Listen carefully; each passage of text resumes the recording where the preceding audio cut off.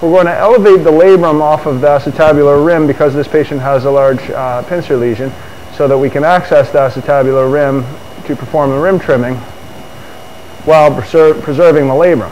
So we use a soft tissue elevator and or a beaver blade to perform this elevation. We'll complete the detachment in the damaged region using a beaver blade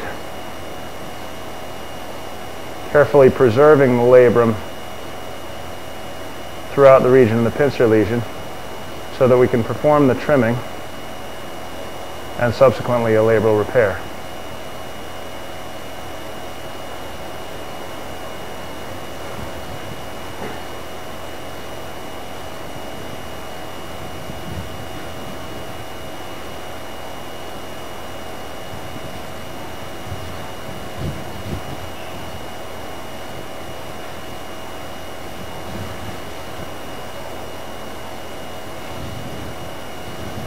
So here we see the labrum is nicely detached